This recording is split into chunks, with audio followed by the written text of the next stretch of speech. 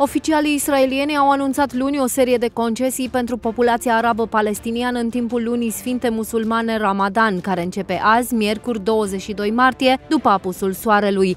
Aceste măsuri sunt luate în ciuda valului recent de atacuri teroriste în care 15 israelieni au fost uciși, inclusiv un atac armat în Huvara la începutul săptămânii, în care un bărbat a fost rănit grav, iar soția sa a fost rănită ușor. Acesta a fost al doilea astfel de atac armat în Huvara în ultimele trei săptămâni. Ca parte a măsurilor de relaxare a fost aprobată intrarea credincioșilor arab-palestinieni pe muntele templului pentru rugăciunile din timpul lunii Ramadan. Femeile de toate vârstele, bărbații cu vârsta peste 55 de ani și copiii cu vârsta de până la 12 ani vor avea acces liber să viziteze muntele templului. Bărbații cu vârsta sub 55 de ani vor avea acces doar în baza unei aprobări care se obține la fața locului din motive de securitate.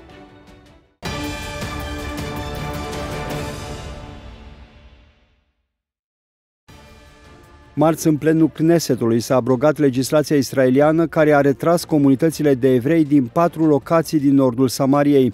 Legea retragerii din 2005 interzicea prezența israelienilor în zona în care se aflau comunitățile din nordul Samariei, desemnând localitățile drept zone militare cu acces interzis. Interdicția a fost adoptată în timpul retragerii din Gaza din același an. Abrogarea nu anulează retragerea din Gaza de acum 18 ani, această decizie de modificare legislativă a fost luată duminică la un summit din stațiunea egipteană Sharm el-Sheikh ca parte a negocierilor dintre israelieni și palestinieni cu scopul de a calma tensiunile înainte de Ramadan. Autoritatea palestiniană a fost de acord să înceteze o vreme deciziile diplomatice unilaterale. La summit au participat și oficiali americani, iordanieni și egipteni.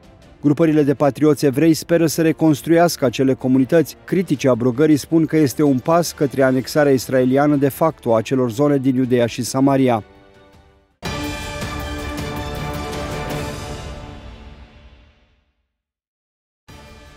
Vorbind zilele trecute la Washington la o audiere a Comitetului pentru Serviciile Armate din Senat, comandantul Comandamentului Central al Armatei SUA, generalul Mikhail Kurila, a subliniat că Iranul rămâne principalul element destabilizator din regiune, care amenință atât Statele Unite cât și partenerii săi regionali. Generalul Curila, care este cel mai important ofițer al SUA responsabil pentru Orientul Mijlociu, a făcut o analiză cuprinzătoare a situației de pe teren care a avut parte de uriașe schimbări strategice, precum influența crescândă a Chinei în Orientul Mijlociu. De asemenea, relațiile dintre Rusia și Iran s-au întărit, Influența Statelor Unite în zonă este tot mai firavă. O serie de decizii politice care au fost adoptate de administrația Biden încă din primele zile de mandat au fost interpretate de partenerii regionali ai Washingtonului ca eforturi americane de a se deconecta de la regiune. Biden a revocat desemnarea ca organizație teroristă a grupării Houthi susținute de Iran, ceea ce a determinat Arabia Saudită să caute o rezolvare a conflictului său cu Iranul, iar China a reușit o importantă victorie diplomatică, intermediind acordul de pace dintre Iran și Arabia Saudită.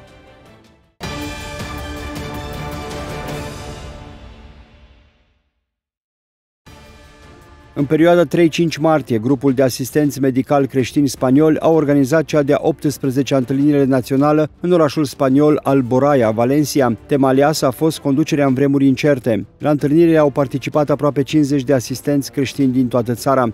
Scopul întâlnirii a fost centrat pe modelul de transformare, așa cum este prezentat în viața lui Isus, modului de a acționa care a avut de a face inclusiv cu igiena fizică, cu starea mentală, emoțională și spirituală și cu restaurarea terapeutică.